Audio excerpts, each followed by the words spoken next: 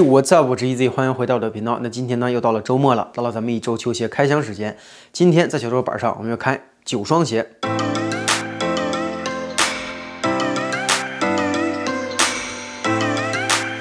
大家呢看到我穿着这个金色的棒球衫，就知道呢，现在时间已经非常晚了。确实，今天呢工作时长非常长。啊，这个挣点钱确实不容易啊。好，但不管怎么样呢，还是非常希望呢给大家拍这期开箱视频啊，因为确实今年的好鞋非常多，而且呢最近要过年了。那这里呢祝大家新春快乐，兔年大吉。同时呢，今天会有一双啊跟兔年相关的球鞋做开箱。没错，就是我面前的这一双啊，兔年的二零零二 New Balance，哎，好像还是个倒装句儿。好，第一眼映入眼帘呢，这双鞋呢采用了一个撕裂的质感啊，非常像之前发布过的二零零二 R 的 Protection Pack，尤其像呢云雨灰那一个配色。其实之前的云雨灰呢，刚刚发售的时候非常的昂贵，我记得在美国的炒价呢应该是四五百美金左右，也是为什么呢？我一直没收。然后这双鞋呢不断的补货啊，导致它的价格呢一路走跌，基本上呢已经跌到原价附近左右了。然后呢突然横空出世了这么一双。兔年的二零零二 R 跟这个云雨灰呢非常的相似，我正好呢也原价抢到了一双，所以现在心里呢想不想再收那双云雨灰呢？姑且再让我纠结一段时间。首先呢，在 New Balance 这个品牌下边呢，我可能最喜欢的鞋型之一了啊，就是这个二零零二 R。你可看到呢，其实我这边呢有四双二零零 R Protection Pack 的续作啊，就是 Refined Future。那这一个系列的鞋型呢，我已经做过了详细的户外上脚穿搭评测，同时讲述了一下为什么这双鞋呢要采用这种设计模式。说白了呢，就是想模拟一双球鞋呢穿了十几二十年。上面的皮面呢剥落的质感，所以整体来说呢，也是一个做旧系列。在这双兔年上面呢，也同样得以展现啊。同时呢，鞋底呢也是做了一个做旧的颜色啊，鞋带呢也是一个奶油色。除了这个奶油色的鞋带以外呢，还带了一条这个酒红色的鞋带。大家可以看一下这个感觉啊，我反而觉得奶油色的鞋带呢可能会更好看。好，那尖叫兔年呢肯定会采用那种长毛的麂皮，而且你看到这个麂皮呢是分两层的，外层呢是浅灰色啊，里层这个呢是深灰色。这次的鞋底呢同样加了做旧。处理啊，有一点点像那种胶水啊干了的痕迹。那这双鞋呢，其实我刚才找了一下，上面有没有出现过任何跟兔年相关的 logo 呢？其实并没有啊。那关于这一点的评价呢，其实可能就两极分化了。我自己呢是觉得比较喜欢，因为呢看不出来是一个兔年，我觉得上面放一个兔子呢，反而也会觉得比较奇怪。当然了，也会有人认为，哎，你没了兔年的这种 logo，它就不显得那么兔年了，对不对？那我觉得呢，两种观点各有道理。我这里呢发起一个投票，屏幕前的各位呢也可以表达一下自己的观点。你是觉得如果做一个中国年系列，上面呢到底应不应该？有这种生肖的图案。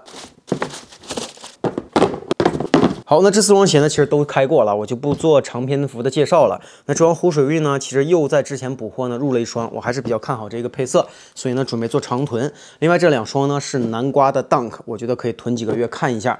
旁边这双呢就不用多说了，是 AJ One 的芝加哥 Lost and Found。这双鞋呢也是刚刚做过了非常详细的户外上脚穿搭评测，我个人呢非常喜欢，所以呢也是换了五套穿搭，两条颜色的鞋带呢也都上脚试了一下。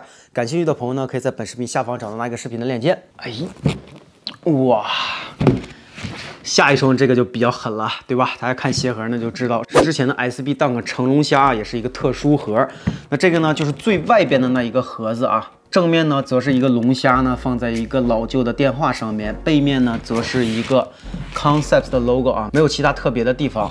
那既然是特殊款呢，这次特殊的地方呢，就是带了两只 Bear Brick，一个百分之一百，一个百分之四百。那其实这个 Bear Brick 呢，所有的关节呢，也都是可以活动的，大概是这个样子。包括这只小的呢，其实也都可以活动。鞋盒呢，整个都是一个橙颜色的龙虾质感，上面呢也布满了龙虾的花纹。正中间呢写着一个 Concepts 二十五周年。之所以这次开箱呢仪式感没那么强烈呢，是因为我都已经开箱过了，我也不想呢在镜头前面展示我好像没有开箱，故意装作一副很兴奋的样子。那这个鞋呢，确实刚收到的时候非常非常的兴奋，所以我早就没忍住，已经拍了这个球鞋的开箱视频。之后呢会直接给大家上一期详细的户外上脚穿搭评测。所以今天呢咱们只做一。一个快速开箱啊，当当当当，这个就是球鞋本尊。首先呢是一个彩色的当个盒，打开以后呢。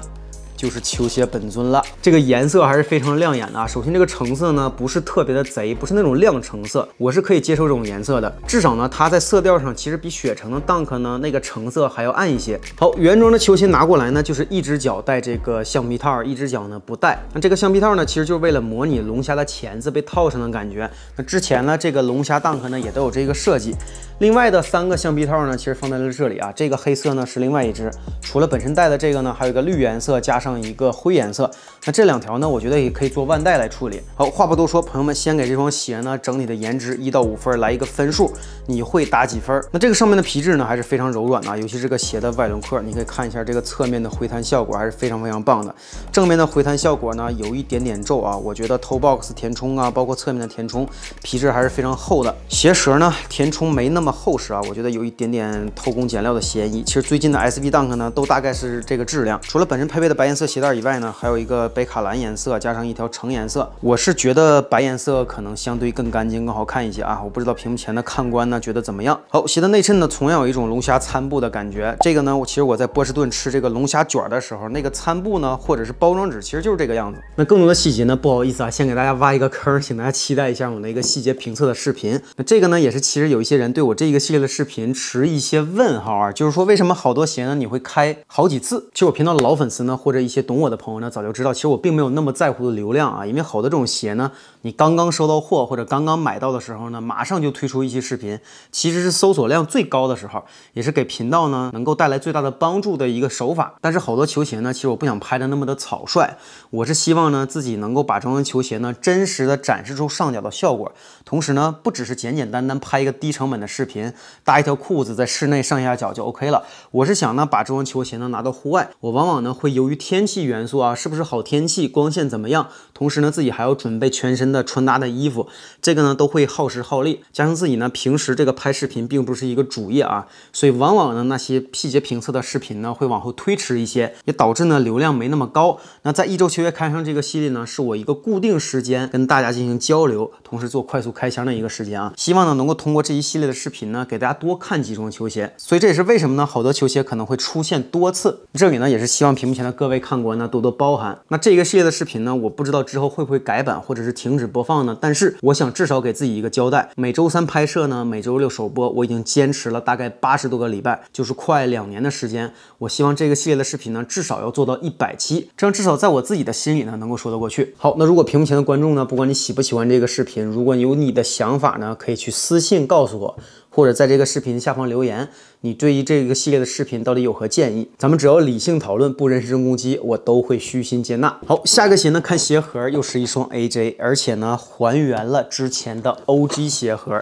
其实里边的鞋呢，就是之前刚刚发布过的芝加哥的 AJ 二代。那刚刚呢也是收了以及拍了 AJ One 高帮的芝加哥。那这次到货 AJ 二代的芝加哥呢，我自己同样非常兴奋。而且上面这个皮质呢，哎，这个质感确实好啊，很像那种啊比较不错的包。好，那其实我不得不说呢，二零二二年呢，除了一双非洲风情的 AJ 二代我没收，基本上其他所有的 AJ 二代呢，我可能都收了。我相信呢，其实比我 AJ 二代多的人啊也不多。大不曲解我的意思啊，是也不多，不是完全没有。希望之后呢，能够有一个机会给大家拍一下所有之前我收过的 AJ 二代的球鞋，做一个横向的对比。好，那今天这个视频呢，除了快速介绍一下这个球鞋的细节以外呢，其实我更在乎的啊是对比一下旁边的这双 Off White 的 AJ 二代。那这双 AJ 二代呢，不是号称仿造这个乔丹穿过的一双元年 AJ 二吗？然后把它穿破了、穿旧了的一个样子。那旁边这一双 AJ 二代的普款呢，也号称对元年呢做了一个经典的还原。那我们来简单做一下对比啊，希望屏幕前的各位呢，能够抛开这双鞋呢是联名的光环这么一个事实。首先，客观评价 AJ 二代的球鞋，你到底选低帮还是会选择高帮？其实我自己觉得呢，低帮可能会更好看一些啊，因为确实高帮，你看这个厚重感是非常强的，很像是一双靴子，穿起来呢也很傻大啊。那做成低帮以后呢，我会觉得轻量级一些。好，首先第一点，我觉得非常一致的呢，就是鞋舌上的 Air Jordan 的飞翼 logo 啊，非常非常相似啊。第二点呢，脚后跟的塑料片啊，这双呃普款呢反而感觉窄一些，这双呢联名感觉会更宽。那其次呢是这个鞋头，这双普款呢反而会更厚一些啊。这个 Off White AJ 二代呢。看起来更加圆润一些。好，鞋底的花纹来说呢，除了颜色有一些些不同呢，其实花纹呢一毛一样啊，没有特别大的区别。好，那说句实话呢，我自己其实对 AJ 二代的球鞋呢，并没有特别的了解啊。之所以收这么多呢，确实是因为去年是二零二二年，很多个二。所以呢，也好多这种 AJ 二代的球鞋。其实往年呢，并并没有这么多的 AJ 二的球鞋来发售。所以我自己呢，也是利用这次机会啊，渐渐的扩充一下自己 AJ 二的收藏。因为之后呢，不知道还有没有机会收这么多的联名款啊，或者是设计比较不错的 AJ 二代了。那这么多的联名里呢，其实我自己非常认可的就是这一双 Off White，并不是因为 Virgil 啊，当然这个 Virgil 是很重要的一个元素之一。但是你抛开设计师啊，抛开这种联名的光环以外呢，我是觉得这个低帮呢，芝加哥颜色真的挺好看的，是我自己平时会拿出去。穿的球鞋，而且确实呢，已经上脚穿过很多次了。大家可以看一下这个鞋底呢，确实还是脏的。好，今天要开的最后两双鞋呢，其实在我的频道上好像也都出现过啊。旁边的这一双呢是 AJ One 低帮的灰颜色贝卡蓝，具体的名字我忘了啊。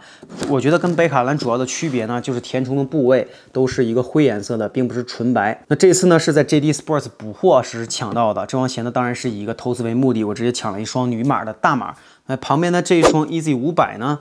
其实是我一直就想收的啊，那这一个呢是 blush 配色，我老婆呢应该有她自己的尺码，我早就想买一双浅颜色的 EZ 五百了。那这双呢其实是一个穿过的，也是我精挑细选淘到过的。大家可以看啊，鞋底呢本身是脏的，但是鞋面的状况呢还是非常的良好。同时呢，我自己做了一下简单的处理，把它清理干净。你可以看到，花了不到两百美金买了一个这么质感的球鞋，你觉得是不是非常非常的香？其实之所以想把这双鞋放到最后来讲呢，是想给大大家安利两个小物品啊，好，其中一个呢是这个麂皮刷啊，其实就是毛刷比较硬啊。另外一个呢就是这个麂皮擦了，所以拿过来之后呢，我先做的一个处理呢，就是用麂皮擦把这个上面的毛皮呢给它清理干净。当然了，只能说把一些灰尘给它清理掉。如果上面有染色，这个肯定是处理不了的。好在呢，我自己精挑细选选的这双鞋呢，没有任何染色的痕迹。